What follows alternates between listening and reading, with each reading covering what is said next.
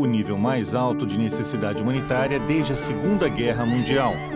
Mais de 15 vezes a população da cidade de Nova York. Hoje, mais de 125 milhões de mulheres, homens e crianças necessitam de assistência humanitária. Nós somos parte de uma humanidade compartilhada. Nós precisamos trabalhar juntos para ajudar a todas as pessoas em todos os lugares.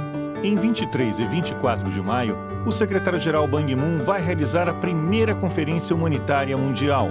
O mundo vai se unir para prometer, prevenir e acabar com conflitos, para proteger civis e respeitar as leis de guerra, para garantir que ninguém fique para trás, para trabalhar de forma diferenciada, para investir na humanidade.